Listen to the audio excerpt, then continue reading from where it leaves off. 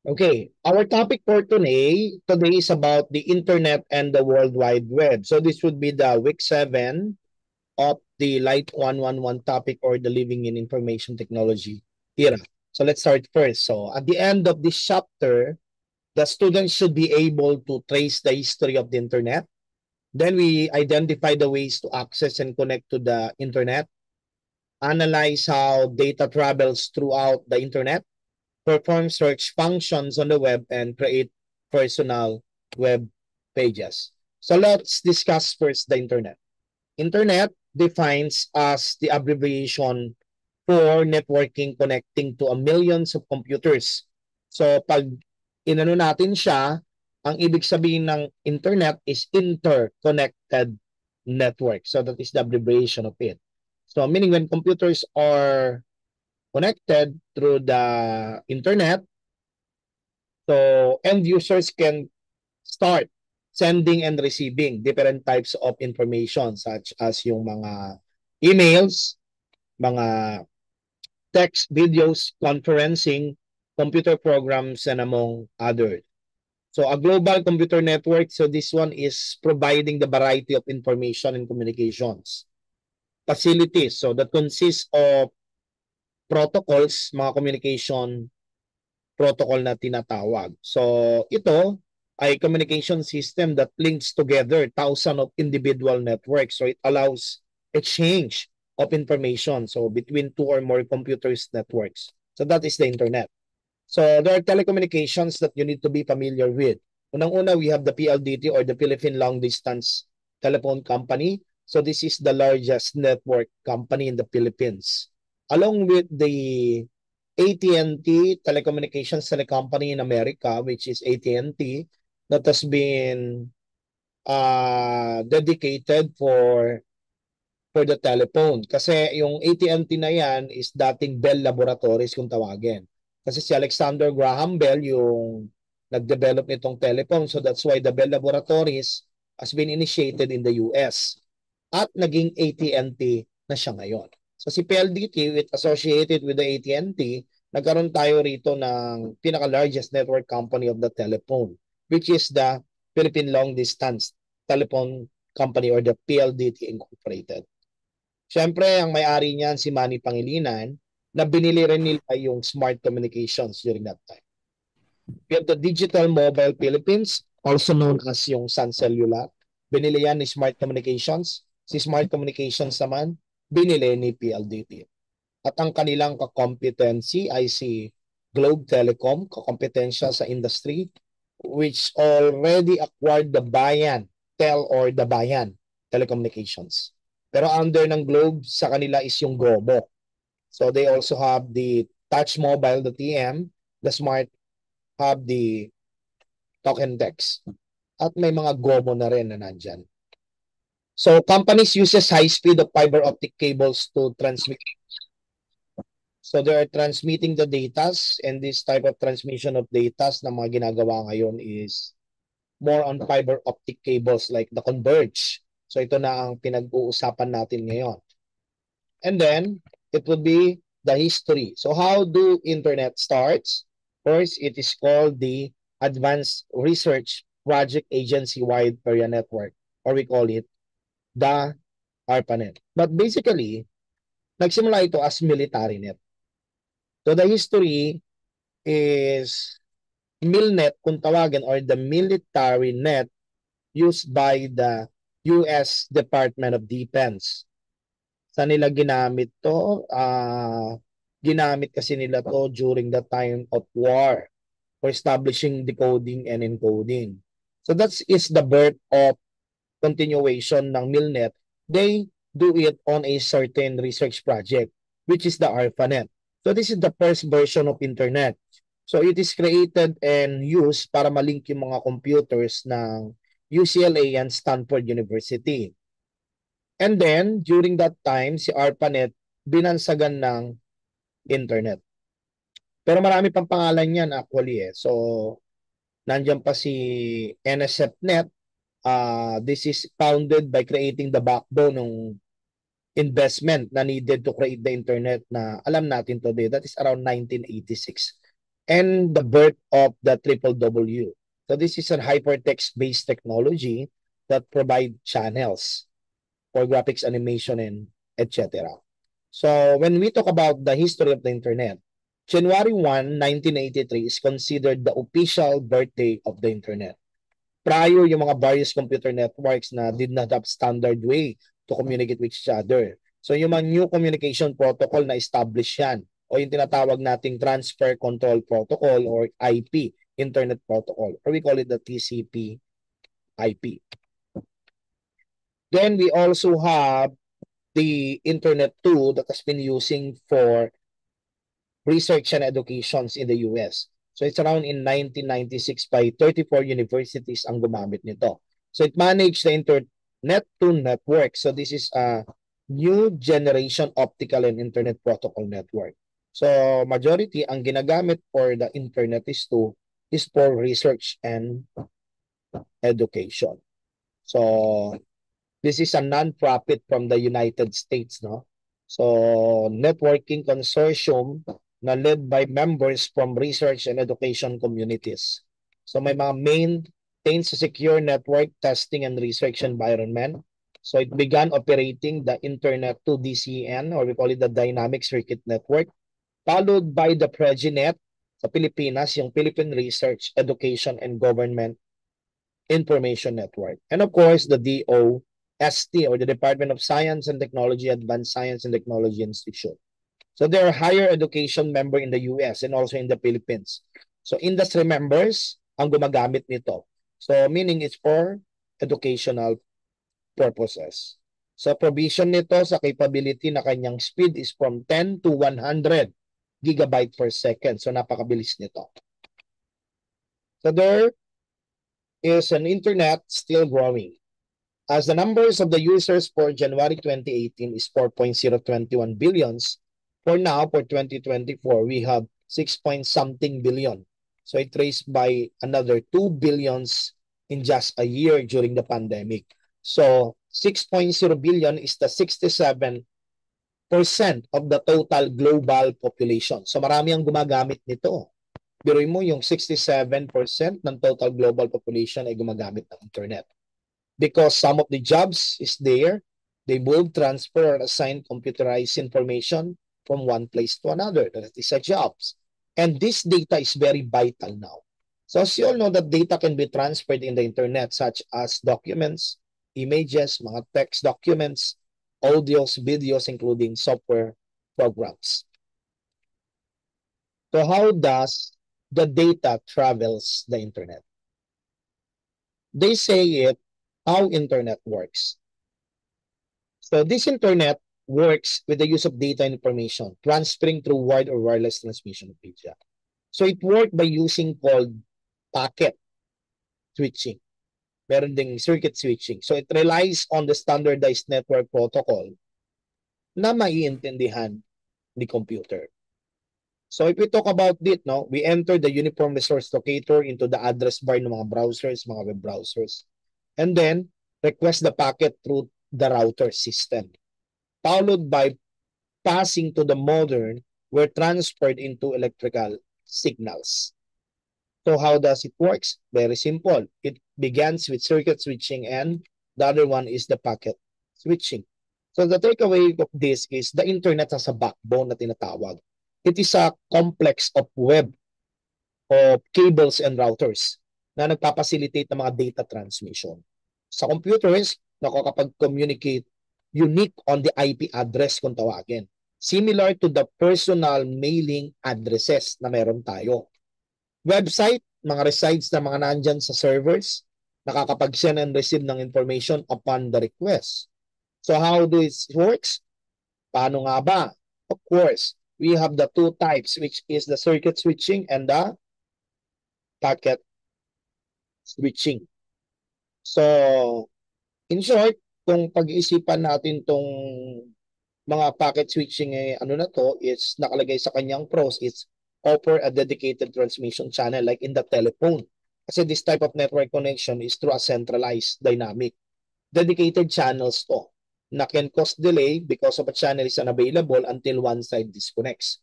So meaning it offers capability of storing messages temporarily to reduce network congestion.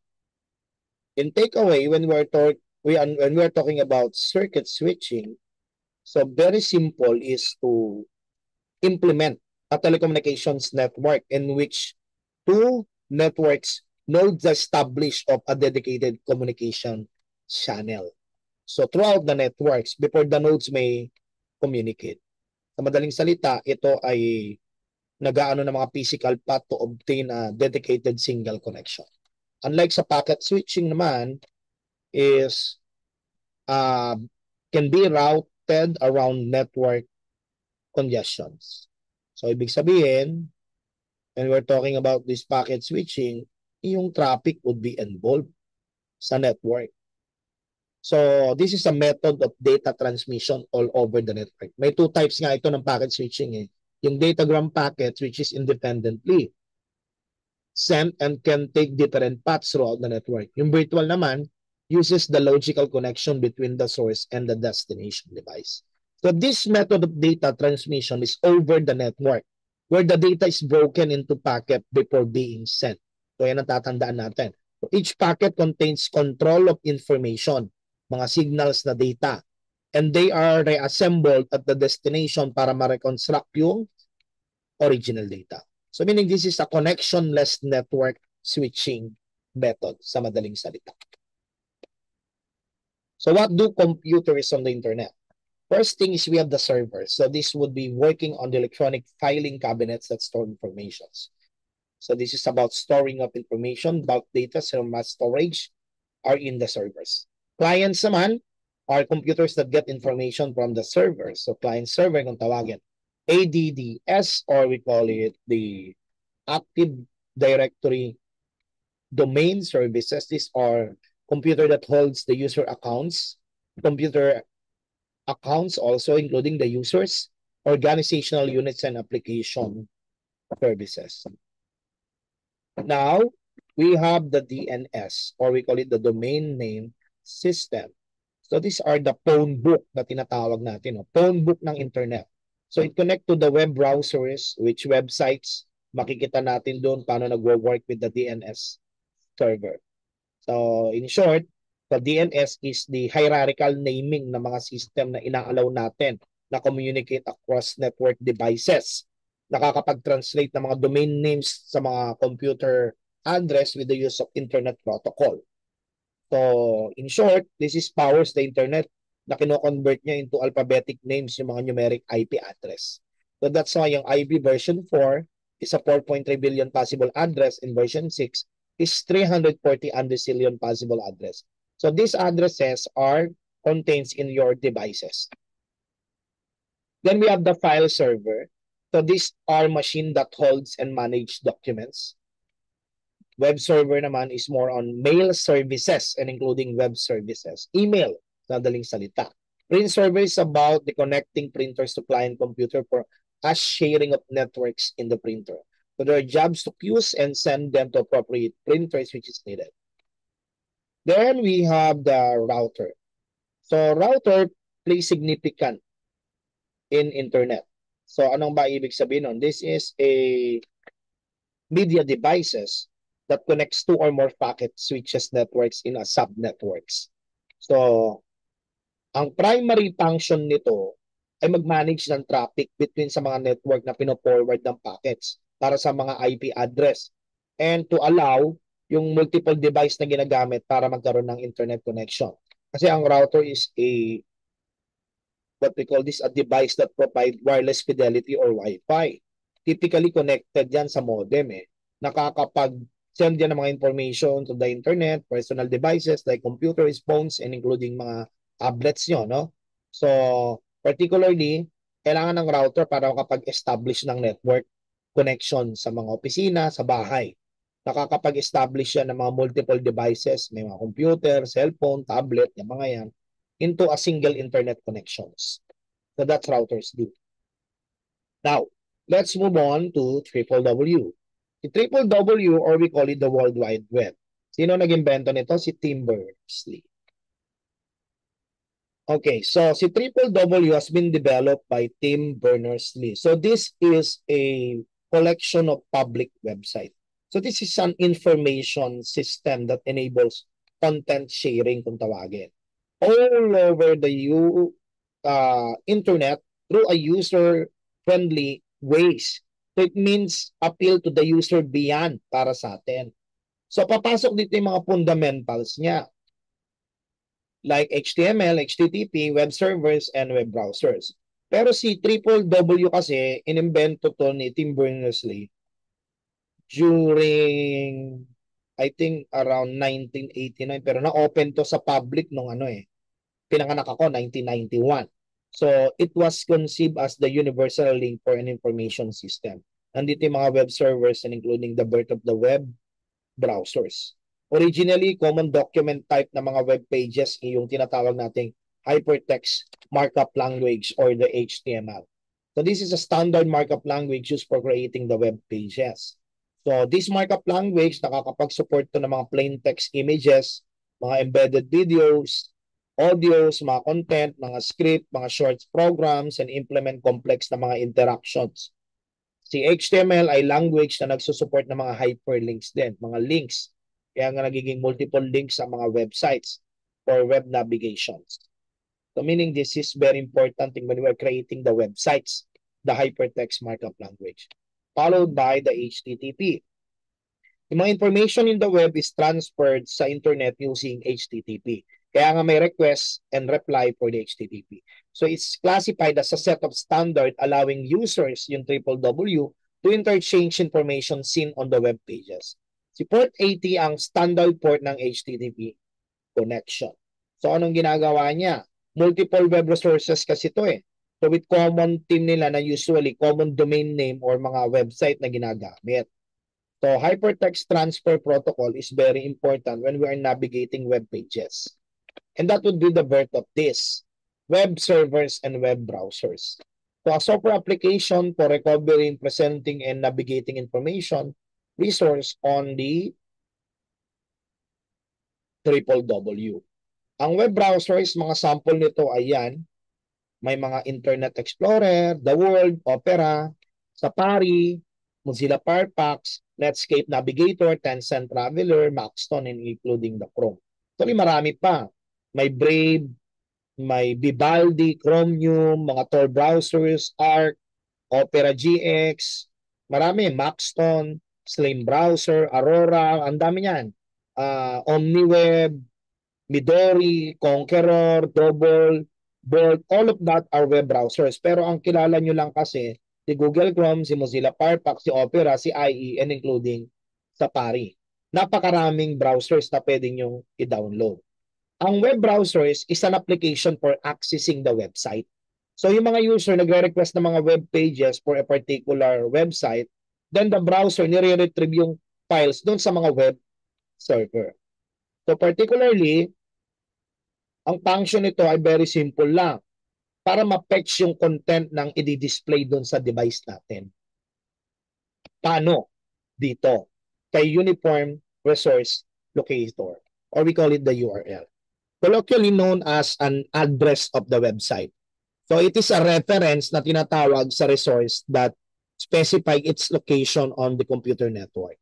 So ang mechanism for retrieving the URL, ito, we check first with the protocol using the HTTP, followed by getting into the server, for example, the name of the website, www.yahoo.com, then we have what we call the path and the resources kung saan kukunin. It has been published 30 years ago. That would be 1994. So this would be on the IETF format or Internet Engineering Task Force kung tawagin. So kung titingnan natin yung URL, it is very important because most of the web browser display the URL web page. Para ito sa tinatawag nating address bar. Okay, then we have what we call the search engine. Ang search engine, like uh, we are doing right now, is by searching it through the web browsers, the function of this search engine is for you to find information on the internet. How it works, alternatively, the Google, nandyan, si Yahoo, si MSN, tapos nandiyan din yung mga MSN bot. So those are particularly what we call the search engine, even the Wikipedia. Yung doc, uh, DuckDuckGo, this is a independent Google no for searching then. So those are the type of what we call the search engine. Google, Microsoft Bing, Yahoo, Yandex, Baidu, As.com, and Naver. Napakarami yan ng search engine na pwede yung makita at alternative sa Google. Okay, so may mainly manage of searching tools like subject directories and including the search engines. So there are Google search tricks that very important. Unang-una, you can use this uh, for extra prices. Yung number one. Pangalawa is, ito naman, yung asterisk. Pangatlo, yung minus sign para ma-eliminate yung results containing certain words. Yung comparing using uh, what you call this, versus Then, yung define, kasama rin yan. And searching image using the image. Now, if we do the takeaways about the internet, there are some things that you need to consider. And those are advantages. The advantages, marami siyang bagay na nagiging beneficial. So, yung global connection to virtual communication, malaking bagay yun. E-commerce, yung mga online shoppings. Online education like this online class abundance of information, napakaraming data na pwede nyong makuha sa internet.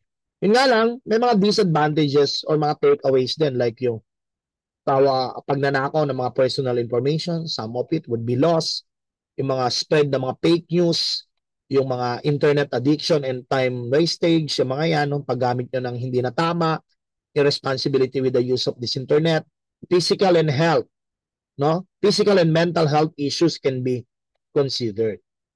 So meaning this internet is global network system that has dramatically na-transform na yung buhay natin dito.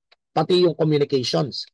The network of networks, yung internet connect sa computer system across the globe, nakakapag-enable to ng mga users to interact efficiently. Although yung popularity nag-gradually about half of the world's population no is now internet users. Nayu-utilize na natin yung internet sa everyday life. But, yung internet na yan nakakapag pervades on our daily lives. From reserving ng mga plane tickets, mga pag-purchase ka ng mga online shoppings without the rise of some of our largest corporation. Andiyan mga Facebook, Microsoft, Amazon, mga Shopee, Lazada. Nagiging dependent na tayo. However, after saying this, with every blessings nga, sinasabi nila, comes a curse, may sumpa. And the internet is no different. It has simplified our lives, yet whether intentionally or not, we have all become its slaves. Nagiging alipin tayo ng internet. Okay, so mga virtual interview calls, mga global connectors, mga online services and e-commerce, mga online education, mga blessing in disguise, internet in COVID-19, abundant information, mga pagkawala ng personal information, internet addiction, mga time wastage, obesity and other health issues. Fake news. To sum it up, every existing material has its own pros and cons, like the internet especially with the advance of the AI, artificial intelligence. The internet has made things beyond imagination, comes to reality. While it's important to understand its significance in our lives, uh, using it wisely is also essential. So our lives may be transformed if we utilize it correctly. Tama nga naman. Kung tayo ay gagawa ng tama. But if we miss issue this one, it can be disastrous.